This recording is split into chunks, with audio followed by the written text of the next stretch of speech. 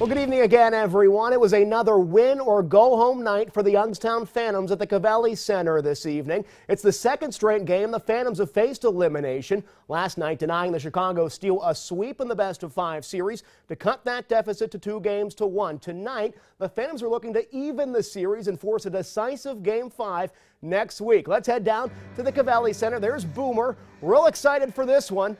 There's Ivan Kolbakov. Got the start last night. Gets it tonight as well. Scoreless in the first. Phantoms on the attack. Around the boards we go. Out to Michael Caro. Top of the point. Lets off a wrister and it's tipped in front. Austin Poley gets credit for the goal. Youngstown gets the lead 1 0. Second period now. Same score. Puck pinned on the far side. Cole Norris jumps off the bench grabs a hold of it, corrals it, winds, fires, and lights the lamp on the wrister. Phantoms double their lead to 2 to nothing. That would be all Ivan Kolbakov would need. Steel on the power play here. Kolbakov fights that one off. Then later, Steel on the rush. Nice passing here to the far side. Good shot on net, but Kolbakov closes the door. He stopped 16 of the 18 shots he faced, and the Phantoms hold on for the win. They tie the series at two, a deciding game five on the horizon.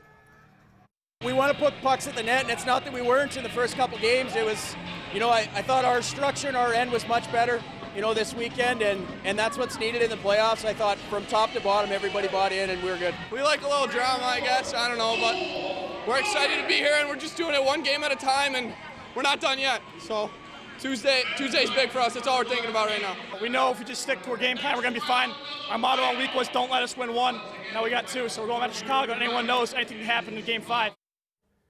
And that game five will be Tuesday, 8.05 Eastern Time in Chicago. Series tied at two games apiece. The winner will head on to the Eastern Conference Finals. The loser will sit out the rest of the summer.